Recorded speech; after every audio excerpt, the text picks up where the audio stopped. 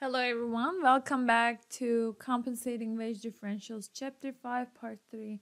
In this part, we will talk about government regulation in the market for risky jobs and our jobs with uh, negative attributes. So, in order to really understand what's going on, I highly recommend you go watch parts 1 and 2 before watching this part because it might not make any sense if you just start watching it this part.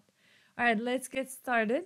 So remember we talked about hedonic wages uh, where it shows the locus of points, the equilibrium points where different types of workers with different kinds of risk aversion matching with different kinds of companies with different levels of ability to reduce the risky aspect of the job. For instance, person A is more risk averse and company X can find it easy to reduce the level of risk so they match up and this point pa shows you the uh, level of wage risk combination.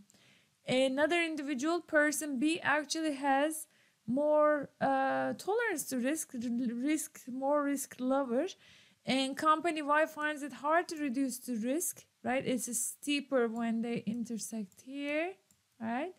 So then these this pair these uh, people, you know, this person, person B, and company Y uh, match up at this point uh, PB, and it implies higher wage and higher level of risk. So worker A sensitive to risk, worker B not that sensitive to risk.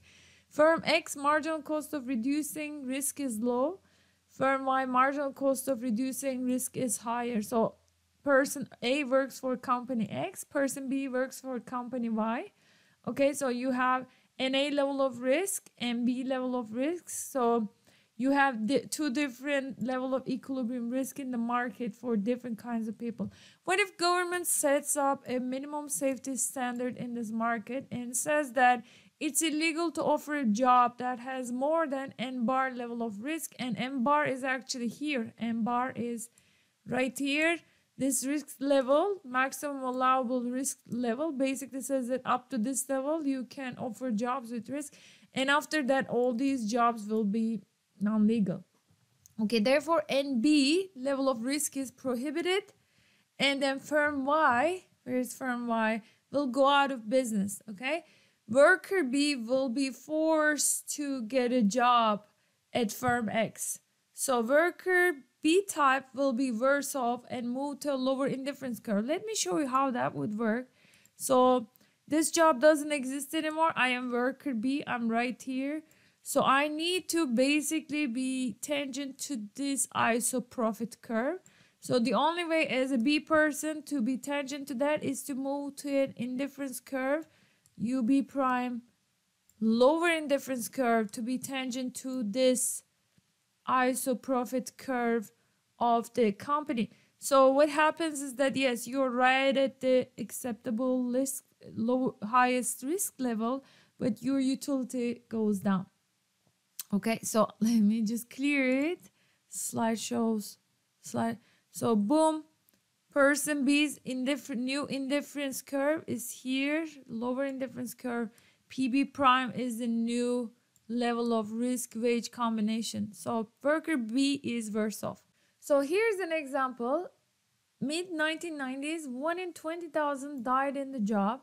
So probability of death while working is 0.00005%. Okay, so how did we find this?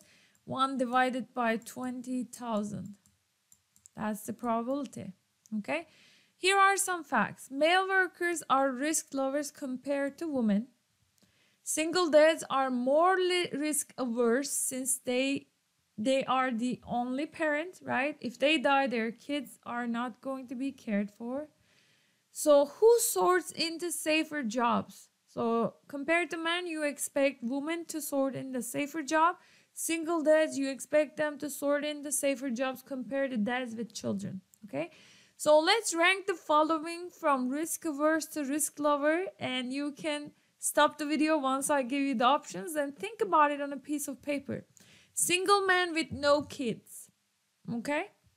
Married man with kids. With a spouse. Married man without children. Single dads. So which one will be the most risk aversive, very resistant to risk? Which will be more risk lover, the most risk lover, and who are the ones in the middle? Pause the video now and come back in a minute.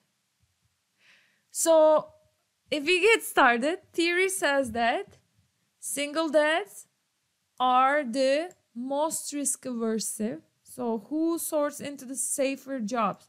So rank them from most risk averse to risk lover. Single dads, the most risk aversive.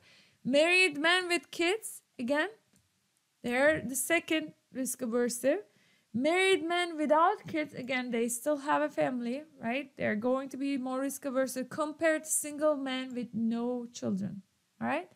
So, data, this is what theory says. Data says for men, single dads are the most risk averse. Then comes married men with kids and married men without kids. Interesting.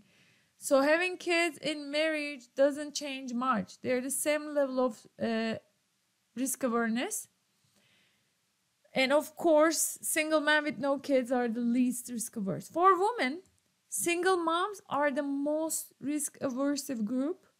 Married with kids are second most risk aversive.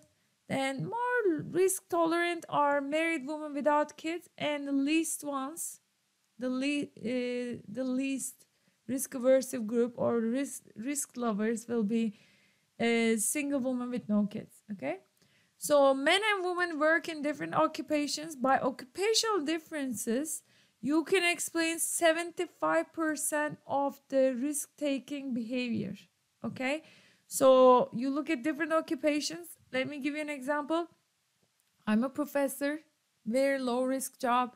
I have a friend who works at an oil refinery.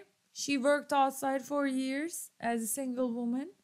And her occupation is much more risky. So she's considered to be a more risk lover type. Okay? So let's let's actually draw this risk and negative aspect of the job. Single dad, okay, the most risk aversive. M married dad, less risk aversive.